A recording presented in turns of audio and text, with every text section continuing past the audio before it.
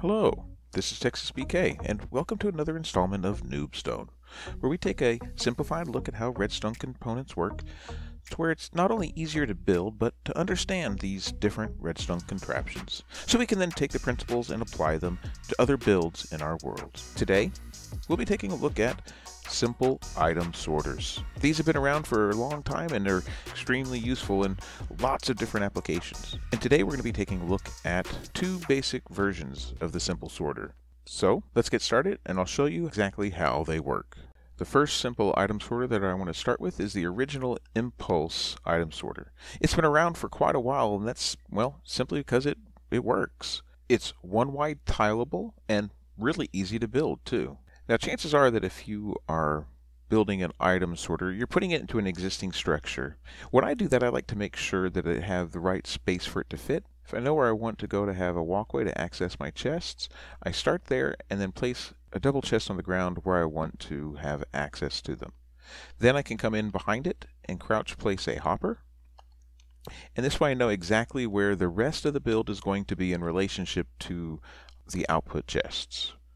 So the next thing we want to do, now that we know where it's going to be, is come in with the solid block. This can be any solid block as long as it's non-transparent, and come one block to the right of this hopper. That way we have kind of a walkway in between here and gives room for the rest of the components. Then come and place an additional two blocks on top, and then place one right here in front, then come in and place your redstone comparator on this block pointing in this direction. Then come around and place some more solid blocks on the ground behind it, and then one up here. And at this time, come in and go ahead and place in your redstone repeater, pointing in this direction so that the output is pointing into that solid block. Once you've done that, come back in and place an additional block on top of it so you have a configuration that looks like this. Then come in and place three redstone dust coming out of the comparator and ending on this last block.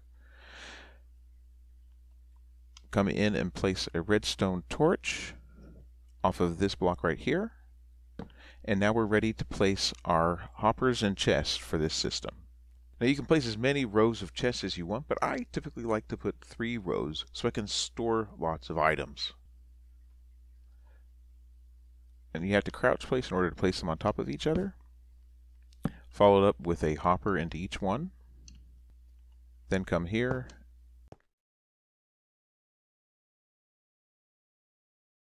crouch place and crouch place so that you have another double chest. One more hopper coming into this double chest. And then we're ready for our top hopper. Now, these are all being used to feed into our storage chest, but now we need to have these sorting hopper. And what you want to do is have it place either have it face either into this comparator or away from the comparator. It is very important that the output of this hopper is not pointing to the side or downward. If it is pointing into the hopper below it, it will not work. If it points into the hopper next to it, then it will not work. It must point into something that will not receive an item, like the comparator or a temporary block off on this side. Either way works, but it must be one of those two. Chances are, if it's not sorting and just items are feeding through, it's because you placed this hopper wrong. And now, let me give you a quick explanation of how it works.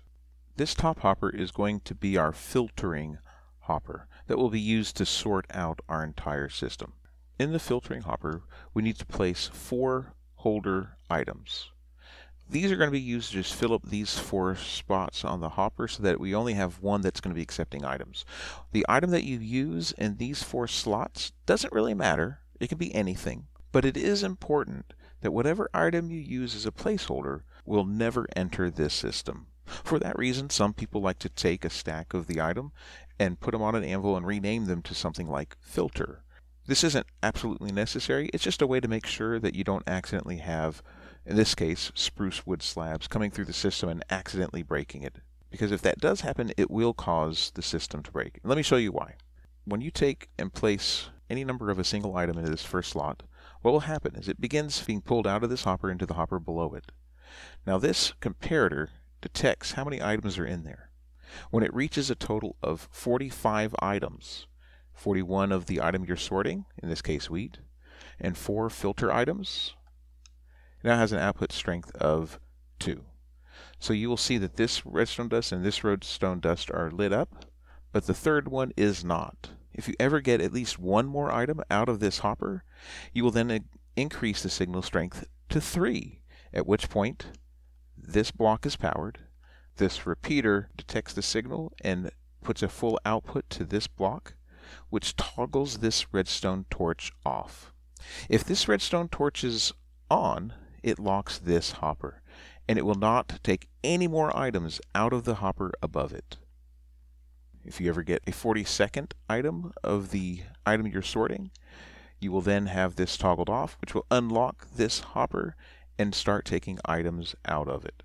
Of course, it always pulls from the first slot first, which means that these will never be touched. As long as you don't have additional filter items coming into your system, it will only pull wheat out of this. And any items that come across it will be ignored if it's unless it is wheat. You'll notice that if you come down to the bottom chest, the extra wheat came into it. Let's test it one more time so you can watch it in action.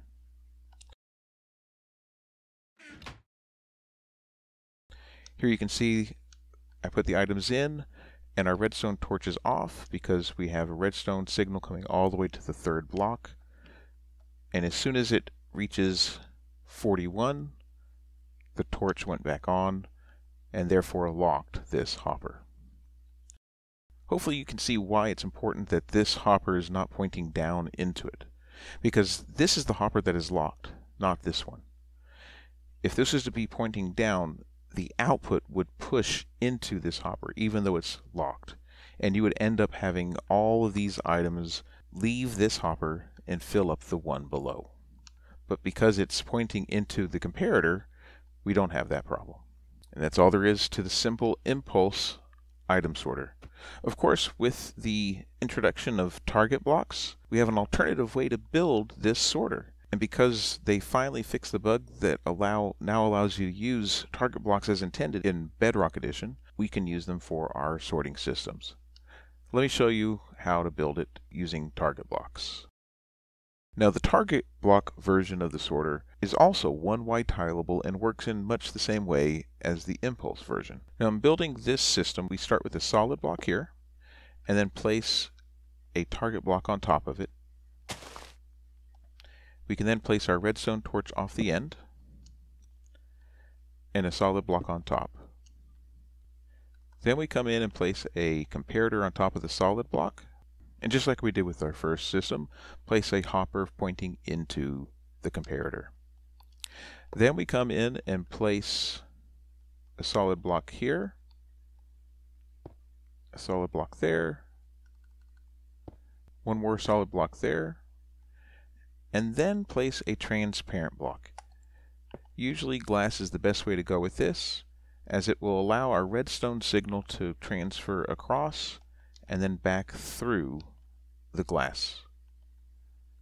As you'll notice, there are still three pieces of redstone dust just as there is on the first system. This way we can still have 46 items being the trigger to unlock our hoppers.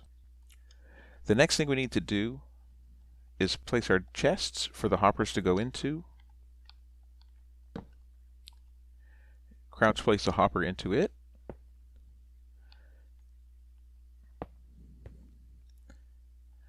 But here's where it has to be a little different. As you notice, this redstone torch is underneath this hopper. Therefore, we won't be able to place our hopper directly underneath it. So what we will have to do is have all the items fed from this hopper into this double chest. And then if we want to add additional chests underneath it for additional storage, we'll need to come in and place our chest like this and have a hopper feeding into it from underneath this chest into this chest. And then we can place our double chest below it like this.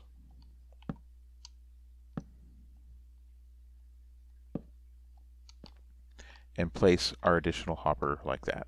And this system works exactly the same way as the original system. And as you can see, it takes up one block less in the footprint for the redstone components But it has a quirk in that, that this chest right here is inset from the rest. And personally, from a cosmetic standpoint, I don't like how that looks. I like having these chests all line up smooth on the front end. So a way to make that work is to just come in and remove this part of the chest, place an additional hopper pointing into there, and then come in and place the second half of the double chest right there. This way they line up. But if when you do this, you notice they take up the exact same footprint from the front of the chest to the back of the redstone workings of the sorter. So it really doesn't save any space. To help better understand how it works, I went ahead and built six tiles of the target block sorter. Since they both work the same way, we could use it to demonstrate how the sorting system works. As you'll notice, I went and put into the filter hopper 41 items of different types. Basically what will happen is as items come across each of the filter hoppers, they will only take in the items that match the 41 items in the first slot. Then they will come down and fill in the bottom chest and work its way up to the top chest. Now if we come around to the back, I can show you why this is able to be one wide tileable. The maximum output that this comparator will take from the hopper will be a redstone signal of 3 because you can never exceed 64 items in the first slot. And as long as you never put any of the filter items into the system, you will never exceed that signal strength of 3. So if you have a signal strength of 3 here, it will either go 1, 2, and then 3 to the spot down below, or it could go 1, 2, 3, and never reach the target block on the one below this second slot, or go 1, 2, 3, and never reach even the second spot on the third one.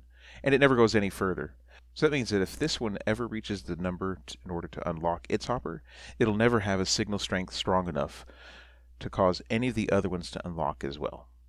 And this way it will not cause the system to overflow.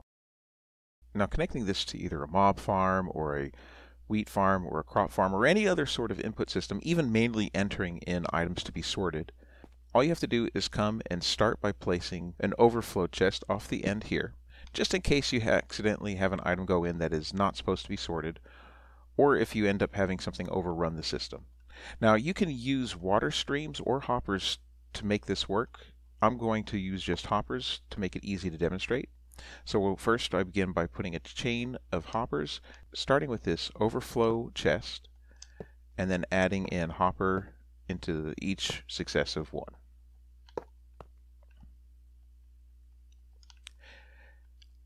Then all you have to do is have your input coming into this first hopper. Now I'm not going to connect this to an actual farm, but you can imagine that this chest is the input for our system. Let's go ahead and add in some items and watch them be sorted into our item sorter. Now as you can see, the first items have already gone into this chest, and they are beginning to filter in the next item. And you'll notice none of the other ones have any items in them yet. But if we give it a few moments, they will eventually all filter through. Okay, it's been just a minute or two, so let's go ahead and see. As you can tell, every single chest has the appropriate item in them. And none of them went into our overflow chest. Now what happens if you put in an incorrect item? Let's say someone put redstone dust, some glass, and a target block in there on accident. All three of them end up in our overflow chest. In addition to that, if any of your chests become completely full up through the entire capacity of this slice, any excess will also go into the overflow chest.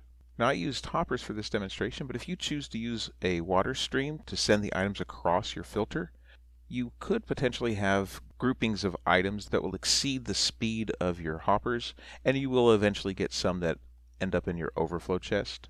Personally, if you're going to be running something that has a high output, you might consider having two slices for each item in order to prevent the eventuality that they will exceed the speed of your hoppers. So, which one's better? The original Impulse design or the new version that uses target blocks? Well, to be honest, it really depends on your situation. From a purely resource standpoint, the original one uses less resources as it only needs three redstone dust to make a repeater, where a target block requires four redstone dust and a hay bale. Also, if you want to have the aesthetic of having the output chests all line up, you will need an additional hopper as well for the new version.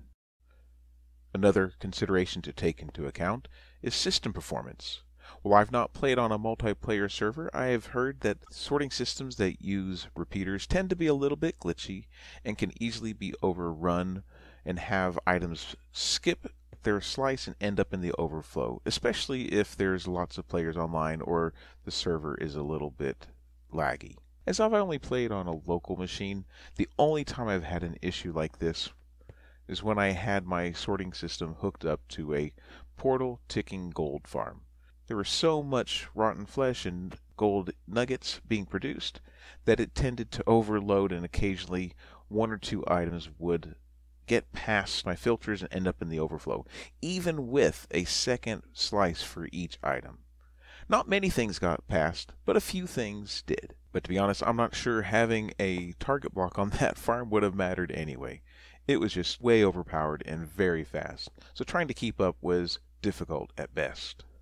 So which one's best? Well, it's totally up to your preference. I recommend trying out the one that you find the most interesting and letting us know in the comment section down below how it worked for you. But that's it, and I hope you enjoyed this tutorial and that it helps you out and you can put this to use somewhere in your world. If it has, I'd appreciate if you'd leave a comment down below letting us know how you used it. And on that note, I'd like to say thanks for watching, and I hope to see you again in the next one. But until then, this is Texas PK. Be good to each other. Bye.